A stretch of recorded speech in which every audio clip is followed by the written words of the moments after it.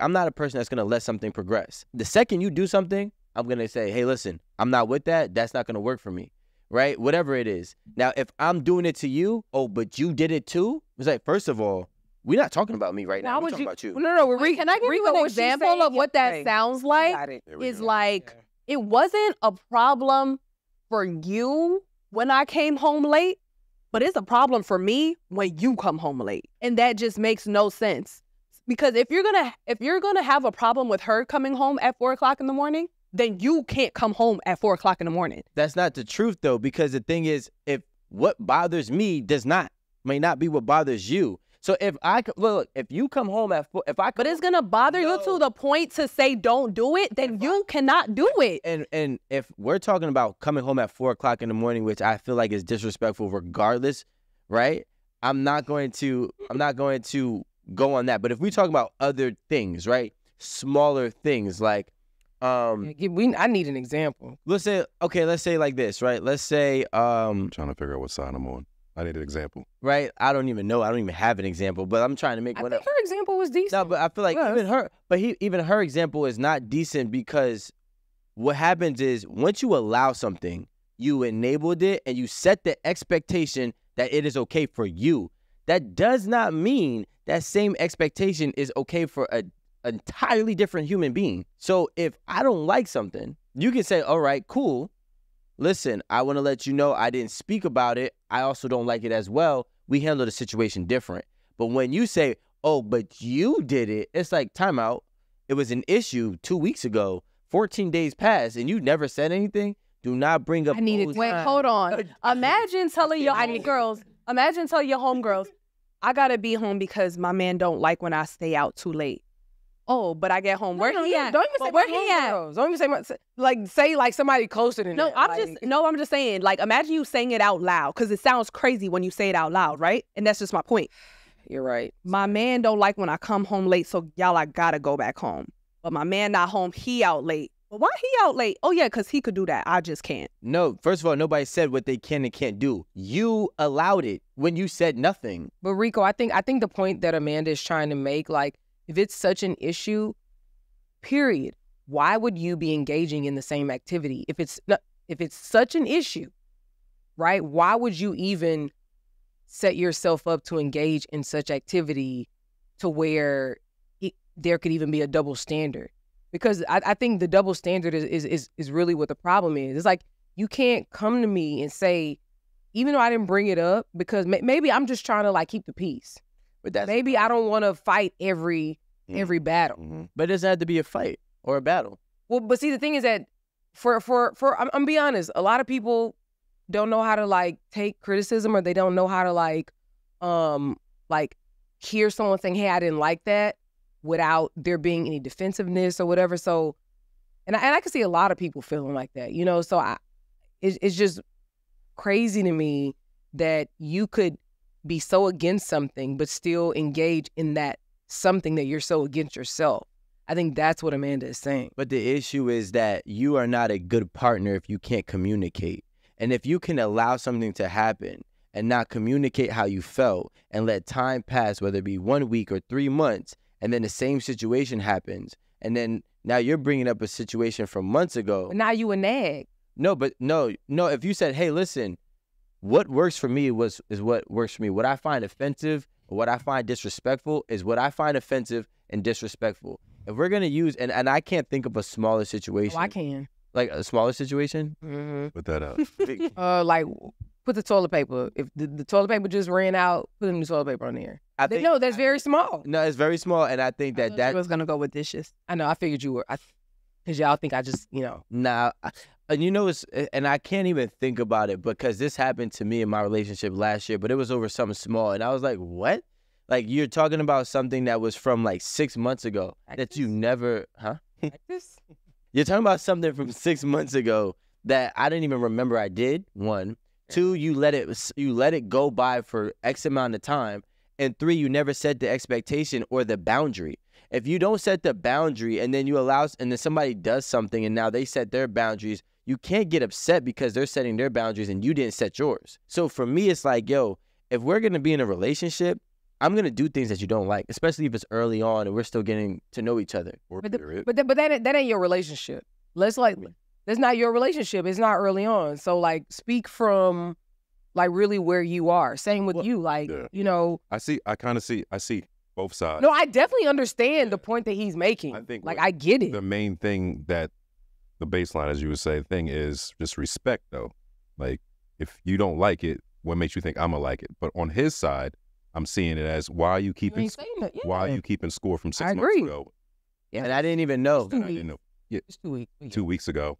I see. No, it's no. My should be like he made he made shit his was- situation was like- months. I was like, Mine was two weeks. You know, um, because my thing is, and, and I'm just speaking from my But I own agree with real life, right? It's like, what doesn't work for what doesn't work for me could be entirely different from what doesn't work from you. For you, right? I've had girlfriends who had we've well, I don't say we've all, but a lot of us have had previous relationships prior to our current relationships in this world, in this on this couch, right? So the way that those relationships dynam- d- dynamics were for me in my life were all different. There were things that were not allowed because they offended that they offended one that would not be offensive to another. So when I'm doing things, I'm not doing things in a way or in the means of disrespecting you intentionally. So when it's not brought to the surface, like, hey, this is something I find offensive, or this is something I don't want to live with, this is something that is a deal breaker for me, these are my boundaries. Now that clear communication allows me to never have to do that again. Now, if you wait for me to do it, and my biggest pet peeve and, and uh, my biggest ick characteristic in a person is spite. People who are spiteful, I can't live with, I can't trust, I can't work with. Because if I offend you by accident, right, or like unintentionally, and you feel offended to a point where you are going to act on something like that, I can't trust you. Because if I'm doing something and you do it to me, and I'm like, why would you do that? And you tell me because I did it mad long ago, I'm like, you're just, you know, you're causing problems within our relationship and within my life. I think I don't mean to cut you off, but I No, think good, yeah. the best the best way to really go about it, which is super hard to do, especially in the heat of the moment, is figure out what works for us. Because you're saying you, and they're saying them.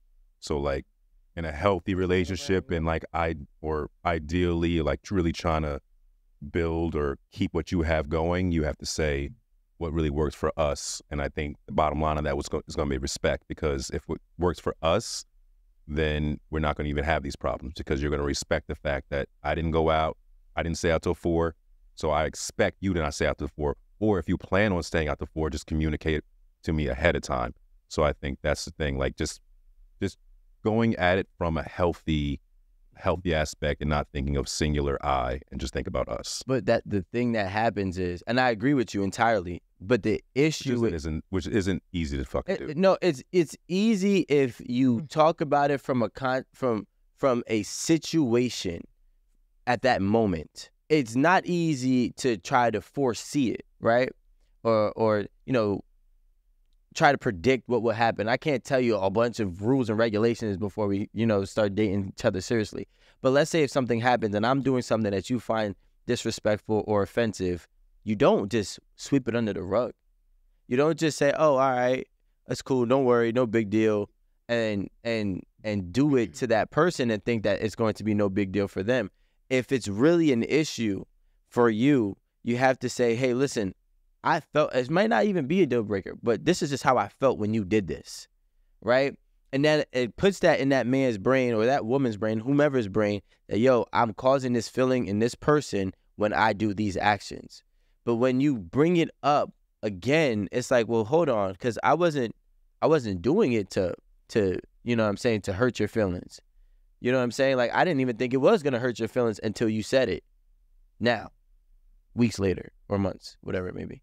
So my response to that is literally I, I 1000% agree. And I didn't even think about like coming coming at it from a we perspective. That's literally the probably the best solution. But The solution yeah, for me. and the hardest solution. Yes. But I I think the the issue is a lot of times in a relationship, you literally have to pick your battle. Like you don't want to bring up something every single time like you don't agree with or you don't like or you feel disrespect. Well, the uh, disrespect you bring it up, yeah. but like all these other things, you know, like um That's the scorekeeping. I don't mean to cut you off, but that, that's the scorekeeping. And I think if you don't if you don't pick your battles wisely, then you'll always have those cards in your pocket something. waiting to like pull this out You're at right. the very moment. So you're really not you're really not going to grow together because you're you're you're growing resentment and you're waiting for him to mess up so you can be like, oh, remember this, remember that, remember that. So you're just pulling Mhm. the relationship back further and further instead of just oh, I hate being fucking mature, but you got to like let shit go, and it sucks Yeah. having to let shit go because what if your partner's really Well, then that's but like you mean? But that's the point of picking and choosing. So it's just like if it's something really small that you feel like you can let go, you can let that go until you feel like it is a constant problem. So if it happens again, then I feel like all right, it's okay to bring it up because it happened twice now, and nigga, I don't like that. So Mm. like, you know, fix it. So and I don't really think that's like keeping it in the back pocket for an argument later. It's kind of just like okay, it was like this is small inconvenience the first time, so I don't want to make an argument out of every single thing. And and I feel like women do that a lot because we don't want to be a nag. Well, end up being a nag. It's like my thing is, and I and I say that in a respectful way. Is like we're gonna feel nagged whether you do it, whether you don't. Yes. So just So just talk our shit anyway. not talk your shit, but like learn how to communicate with the man, Exactly. Communicate it right then and there so I can correct my shit instead of like me waiting. and in a way that But that but that is problematic. Like so it's like every time I do something Exactly. Then y'all gonna feel like, damn, she that No. this girl just But don't like no, me. no, she no, got a but problem with honestly- every. I think there's a way of going about it. thank you, That's what I'm saying. Because if Yeah. you if you make it to like I do something and you figure out a way, I'm not saying you gotta sugarcoat it, but a way that it don't have to be an argument, and you could just be like, hey, I just really didn't like that. You know, I'm be like, okay, cool. She's she's cool. I I'm not respect. that. saying it So I'm has to be an Romeo, argument. but a lot of people are not like in a in, a, in an emotionally regulated place. Oh. Right? So what you saying it for? Like But that doesn't First mean, of all, but that doesn't mean I thought that was a phone. It's, it's frustrating. I didn't even know that was coming from like he mouth. literally said that knowing that somebody me was finna be like shit. What? Okay, I don't know what people. Prince Allen has, people. but People, people. Well, I think We don't call it nagging though. We- we- Thank you. Just like y'all gossiping, y'all don't call it gossiping. Y'all be the biggest Y'all- gossipers, but y'all don't call it do. I think sharing information and gossiping is different. no, sir. It's way different. It's No, like, sir. yo, I think we have a better filter of saying, listen, I'm gonna say something about like, this I right should now, Tell you this, but and I know there's gonna be a nah, I don't do that. You understand? Or, or as opposed to us just letting it go. Like that's what I do. I look at some shit and be like, "Yo, I'm I'm mad about this right now, but I bet you if I walk away, if I eat, if I go to the gym, I can process all this and I can be like, yo, it's not really a big deal." As opposed to like them just coming out and saying it and now it being a whole big thing that really isn't really a big deal at all. yeah, but the thing is, And that's why you have to like let some things But the slide. and the thing is though, I see I'm not that type of person. Like I can't wear extra weight. So if there's something that's uh, an issue for me that's happening in my relationship, I've learned, I would say in the last six years, how to communi- communicate it in a way where it's super clear. And and it's not it's not threatening, it's not attacking, it's not poking the bear, it's not pointing the finger. It's like, hey, listen, I just wanted to let you know such and such has happened and this is how I feel about it and you know these these things you know can cause me these feelings can cause me to feel this that, to act this type of way. I don't want to act that type of way and I don't want to feel that type of way. So let's either find a, a workaround or let's not do it at all. Whatever that you may better be. watch how you talk to me, That because Right. But But like that's what it is. do they always receive your clarity as clarity? So though? and that's the, That's the- so that's the thing. you. My and and I hate to say it, but my previous relationship was the best communicated relationship because we received and we understood each other and we didn't have to challenge each other. What doesn't like a- and that was one thing I said. I was like, listen, we don't have to agree with the way what I do makes you feel. And I don't have to agree with what you do, mm-hmm. with how it makes me feel. So But I have to understand. understand that it's real Understanding it. right? I don't care to know like I mean I don't care that what I feel about this is not that big of a deal to you. It is a big of a deal to me. Just respect it and vice versa. And we never had issues, like argumentative issues. If there was like, "Hey, listen, this is an issue for me. I don't like this." All right, cool. It stopped and that was it. Now, in other relationships that's not the case, right? Because sometimes things go not spoken or unspoken and then it builds up right? I did six different things that I didn't know you can tolerate, but by the sixth one, you done went off. And now it's an argument because these things weren't communicated prior. You know what? And this is actually what I said earlier. I think that I won't say all at all, but or I, I would say a lot of women really try to avoid addressing every little thing that happens because we ultimately are trying to avoid being a nag. Yeah. Like I, I mean, you can speak for whatever, or even like speak for your experience, like seeing your mom and you know your sisters or whatever with your dad. But like even myself, I let things go. I'd be like, mm. and I do this to like calm me down. No, no, no. I literally like tap in the middle of my head to like calm me down. I'd be like, "Mm, it's not that important. Don't worry. Walk away. You know, but then there are other things where I'm like, I don't know who you thought you was messing with. Yeah. You know what I mean? And so something has to be said. But I think because that um persona of being a nag, we don't want that associated with us. So I, I, I in my opinion, I think that women try to to avoid bringing up every single thing, even if, even if all those things really annoy us and really get on our nerves and really create work for us and really is a problem for us. We just be like, you know what? But I with think that, that, being said, uh, it, with that, I'm sorry. With that being said, if you think about everything that you you you're storing away and you're only Oh saying one God. thing, do you really like this person? That's what I'm trying to say. It's not a Well- relationship that I feel like should be had. I, I do think you have to pick your battles. I'm not disagreeing. But when we're talking about, I don't know what the number is or the threshold is, but enough to make you explode, this is a person that you're forcing yourself to be with. I don't think you're forcing yourself. I think a force. I think because you have to think about there are different challenges that come with different parts of a relationship. So when you're just dating, you got your own house, he got his own house, you got your own house. There are Yeah. certain things that don't even exist as far as conflict or as far as like, oh, well, I ain't like that, I ain't like that. But once you start sharing a space, once you start sharing bills, once you start sharing obligations to children, animals, parents, uh, uh, loans, all of that, things change Mm. because the way you look at those things are very different. So I think when you are just dating, circumstances are different. But then when you join, like, like really join a life with somebody, you again, I think women are very much concerned with not being a nag and picking the most uh important of the things that get on our nerves versus like bringing up every single thing. Because I'm gonna be honest, I think that y'all, I think that men equally have stuff that get on y'all's nerves. Equally have, but We, we just handle it differently. You mean? you crazy. No, I think y'all, I think men have things that y'all want to say, but y'all, Can't. just don't want to come off as bitches. you. Wrong. you, know, you, you, you just, or assholes. no, you just want to, you be like, whatever. I'm not even finna, you know, or we can't say it why, why can't you? because we get our repercussions. Repercussions. I'm gonna make sure I'm saying it right. Webster. The repercussions. Repercussion. That boy said repercuss, repercussions. crustacean. you goddamn crab. The repercussions are way different for like when we or nags, yeah. not nags, but when we like how y'all want to call a name, y'all call y'all easy quickly say this motherfucker. da, da, da, da." Let us be like this bitch here to your face. Now it's it's a whole different ball game. We can't we Play can't. your do that. mama. I didn't even call you a bitch. You said play with my mama. I'm just saying, like, That's play what with I'm your mama, not me. That's what I'm saying. But you can call us all types of this, that, and the I third. don't. that I doesn't don't. happen to me. I I, don't. I, I don't play that call. Yeah, I don't. I don't play name. those games. Yeah. Yeah. You call me out of my name. This is this has gone so far to a next level where I don't think it's about a. But the, the problem is, is that in my opinion, this is just my opinion. Fighting a battle is the issue. Picking your battle and fighting a battle is entirely different.